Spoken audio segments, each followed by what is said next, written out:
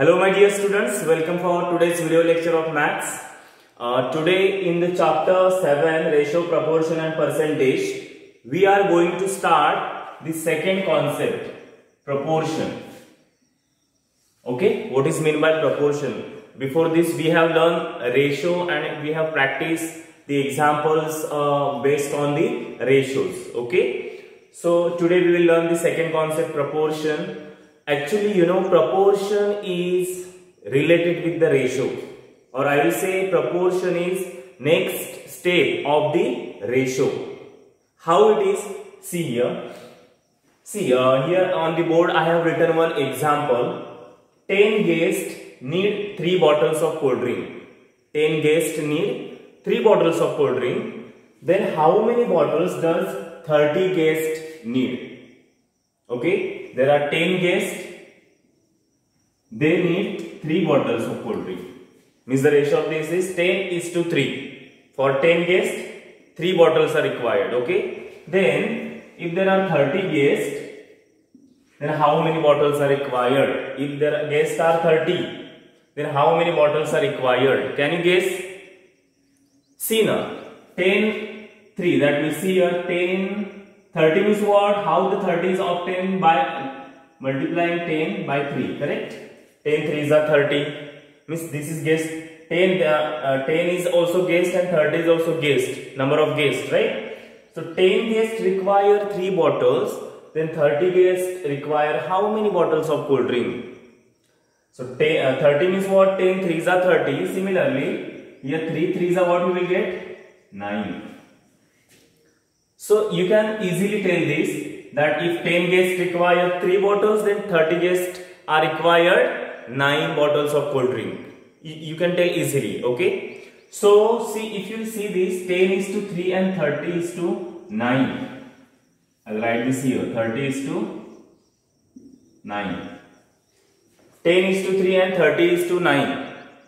This is this ratio, these two ratios are equal these two ratios are equal. How? See now. 10 is to 3. This is lowest term only 10 is to 3. Okay, this is lowest term only. The, uh, that means it is basic. It is ratio, correct? if we find the ratio of 30 upon 10, what we will get? Both, both 30 and 9 are divisible by 3. So 3 tens are 30, 3 threes are 9. 10 upon 3, correct? This is the 10 is uh, upon 3 and the ratio of this also 10 upon 3. Okay? That means what? 10 is to 3 and 30 is to 9 are same.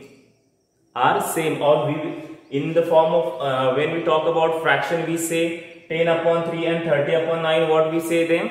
We say them equivalent fractions right? So these are the equivalent ratios 10 is to 3 and 30 is to 9 are the equivalent ratio means they are equal so when two ratios this is one ratio and this is a second ratio when two ratios are equivalent or equal when two ratios are equal we say them that they are in proportion here the new term is introduced proportion Ratio means what? Division of two numbers. So here 10 upon 3 or 10 is to 3. This is ratio.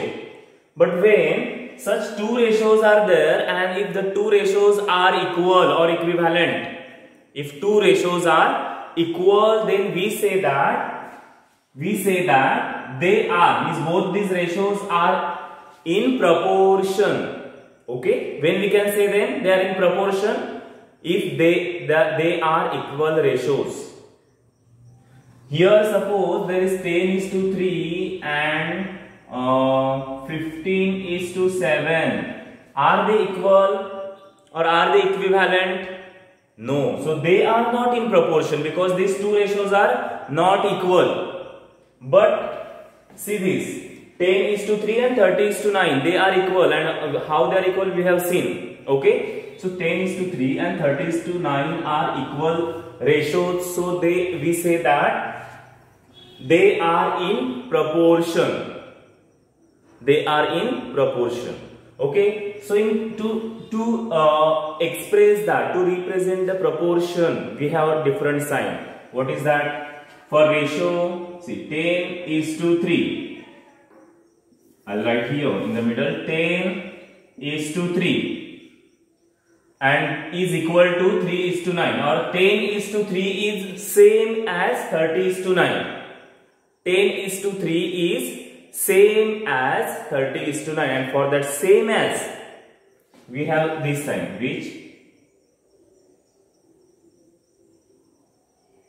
double ratio. This is two, on, two dots that is hyphen for ratio. When you write 2 times hyphen, 4, four dots this way that is the uh, symbol for the proportion. 30 is to 9 how to read this? 10 is to 3 is same as. This symbol represent is same as.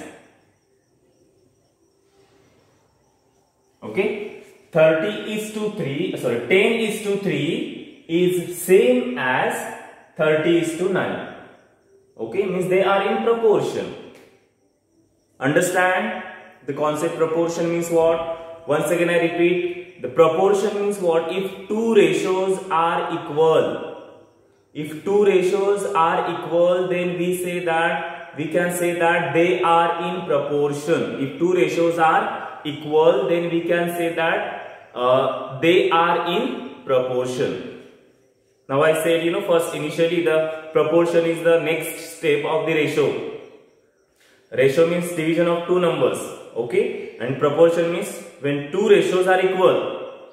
This is also related with the ratio. When two ratios are equal, they are in proportion. Okay. So, see here. This 10 is to 3 is same as 30 is to 9. Okay. Now, in this proportion, we have total 4 terms. How many terms? 4 terms. This is first term. This is second term this is third term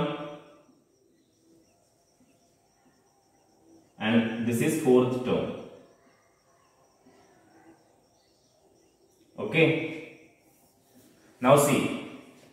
First term 10, second term 3, third term 30 and fourth term 9.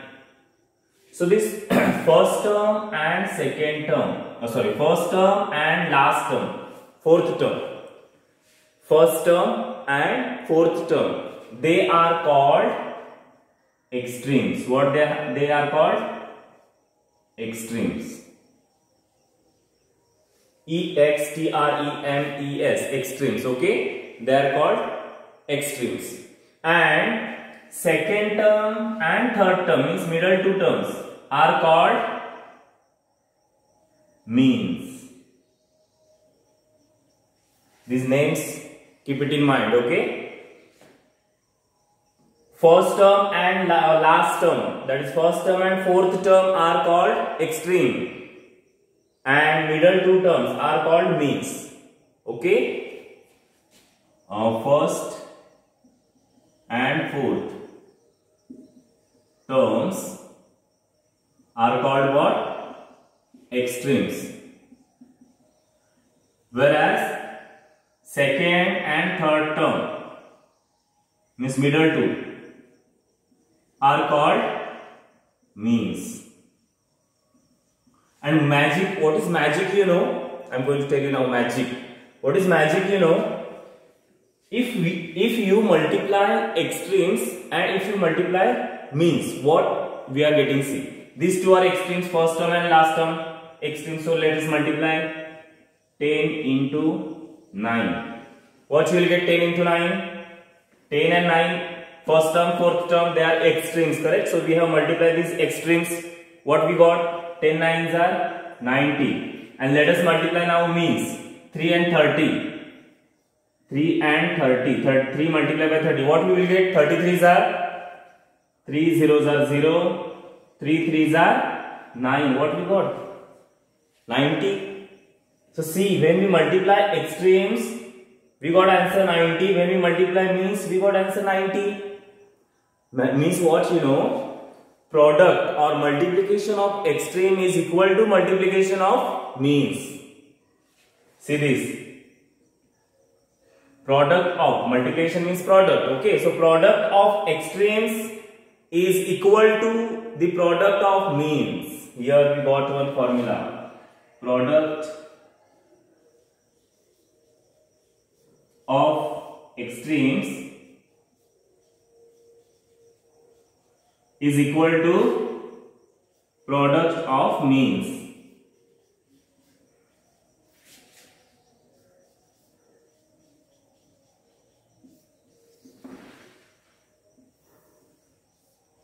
This is very important formula. Product of extremes is equal to product of means. Okay. Understand? So see uh, in this concept of proportion what we have seen proportion is next step of the ratios. When two ratios are equal we say that they are in proportion. Okay. That is 10 is to 3 and 30 is to 9 are uh, two ratios and they are equal. So we, uh, we say that 10 is to 3 is same as 30 is to 9. The, in proportion there are four terms. First term, second term, third term and fourth term.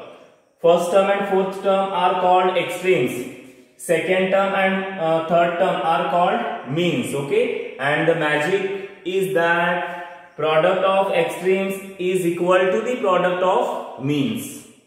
Okay. This formula we have obtained here. Uh, initially what you have to keep it in mind uh, the name of these terms first term and fourth term are called extremes middle two terms are called means and this formula product of extreme is equal to product of means okay? How the questions will be asked questions will be asked to identify which are extremes which are means as well as questions will be asked. See as there are four terms any one term will be missing. So question will be asked to find that missing term okay? We will solve the questions. At that time you will come to know. Before that pause this video and write this in your notebook. After that we will solve the practice based on this proportion. Practice 7.2 let's solve now practice 7.2 see the first question uh, in the practice 7.2 what is that? Open your page number 127 uh, solve these first two questions in note, uh, textbook only. See, circle the means in the following. Circle the means in the following. See, they have given uh, proportions, two ratios which are in proportion. Okay, and uh, you know in each proportion there are four terms. First term, second term, third term, fourth term. So in this four, uh, out of this four term, which are means that we have to circle. Okay, and what is which terms are called means that we have learned. Now see, as I told you first and last term that is first and fourth term are called extremes whereas middle two terms second and third they are called means correct? So we have to circle means so we will circle this. 5 and 10 are means okay? Or we'll circle this way also. 4 and 8 are means. Here which are means? Middle two terms 40 and 16 here 20 and 60. So means means what? Middle two terms, second and third term are called as means. Okay. Question number two is circle the extremes in the following. Circle the extremes in the following. And extremes means what? First and fourth term. Correct?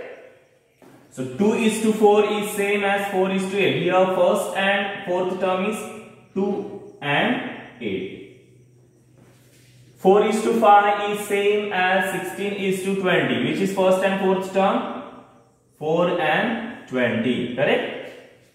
10 is to 90 is same as 2 is to 18. 10 and 18 is the first and last term that is extremes. 9 and here 16. They are the extremes in this proportion. Okay, so to identify means and extremes, this is the first step towards uh, so solution of the uh, questions based on the proportion. Okay, so immediately write this in your notebook. Uh, we will solve the second question also. See the uh, question number 3 in the uh, practice 7.2. Question number 3 is find the missing number in each of the following. Find the missing number in each of the following. See now, question number A is x upon 10 is equal to 6 upon 20. x upon 10 is equal to 6 upon 20. See, x upon 10 and 6 upon 20. These are the two ratios which are equal. That means they are in proportion. Okay? Means x upon 10 means what? x is to 10. Equal to means is same as 6 is to 20. Means these are the two ratios, these are the two ratios which are equal, that means they are in proportion.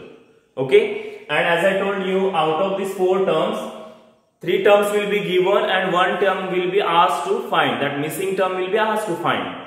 Okay, so how to find that? That we'll see here. We know that uh, formula, formula that is multi product of extremes is equal to product of means. Product of extremes is equal to product of means. Okay?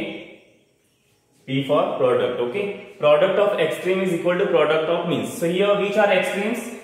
X and 20 x and 20 so x multiplied by 20 is equal to means 10 and 6 are means okay? So 10 into 6 understand up till this? X multiplied by 20 because they are extremes. So product of we have formula product of extremes is equal to product of means. So product of extremes means extremes means x into 20 is equal to product of means means 10 into 6 okay so x into 20 uh, keep as it is. Or what we know? Uh, x keep here as it is. And this multiply by 20 no. See here in this type of question we have to find the value of the alphabet. X. Okay we have to find value. Which number is there for that x? That we have to find. So for that what we have to do? We have to do operation over the numbers which are given there so numbers are 3, 20, 10 and 6. So on this side there are 10 into 6. So uh, after, uh, we, we have to do operation on this and then we have to bring 20 here and uh, we have to operate. Operation means addition, subtraction, multiplication or division whatever there. Now see x we will keep as it is there and this multiply by 20 no that we will bring on this side. Here there is 10 into 6 and when multiply by 20 will come here it will be divided. Divided means it will go in the denominator. Okay? So 10 into 6 multiply by 20 uh, divide by 20 okay? So x is equal to 10 6 are 60 upon 20 that is 60 divided by 20 and you know in the 20 table there is if you divide 60 by 20 what answer will get the 0 0 cut 2 3s are 6. Answer is 3. That is 23 is are 60. So x is equal to what? 3. The value of x here x upon 10 means what? 3 upon 10 is equal to 6 upon 20. See 3 2s are 6, 10 2s are 20. Okay? In this way we have to find the value of missing number, missing term.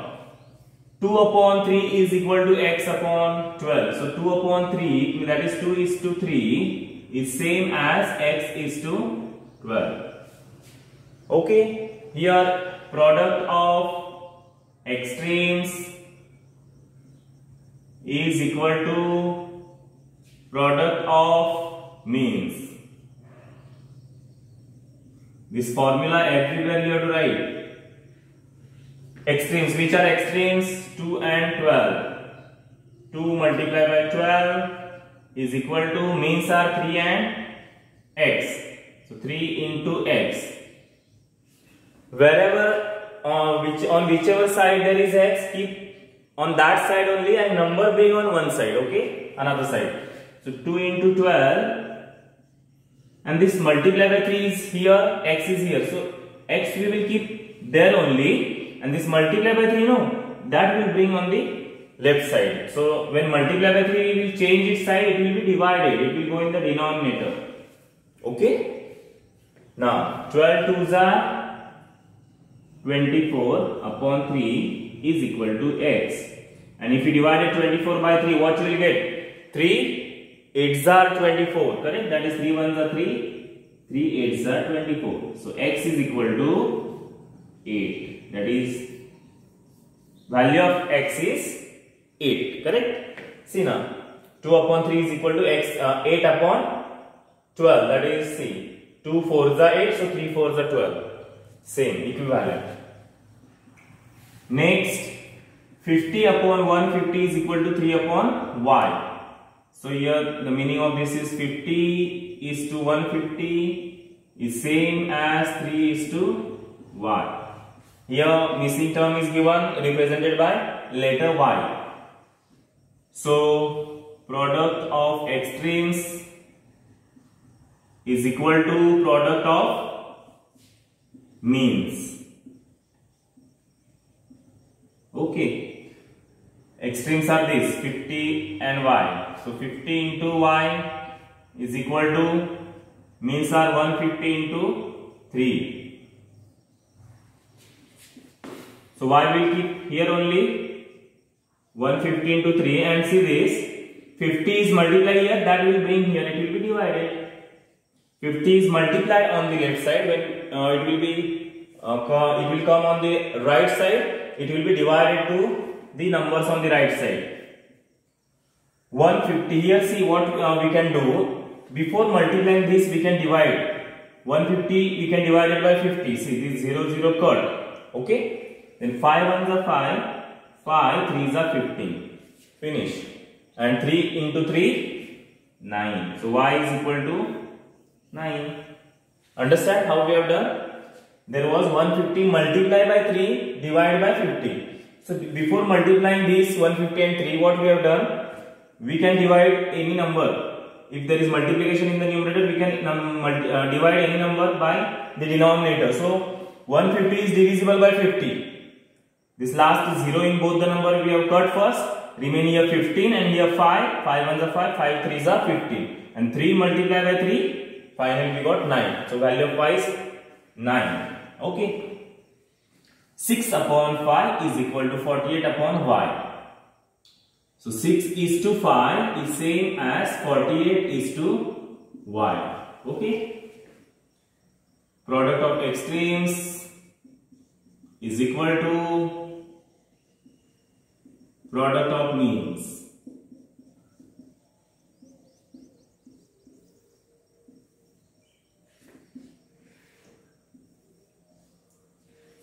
So extremes are 6 and y, correct? 6 and y. 6 into y is equal to means are 5 and 48. Now see y will keep here, 6 will bring here before that. Let us write 5 up into 48 and 6 will be divided to them. So y is equal to now see 5 multiplied by 48 divided by 6. So out of 5 and 48 is there any number which is divisible by 6? Yes 48 is there in table of 6. 6 1 is 6, 6 8 is 48. So here we got new number 8 into 5. 8 5 are 40. So value of y is nothing but 40. Okay, so in this way we have to find the missing number, missing term out of these four terms, one term will be missing that we have to find in this way.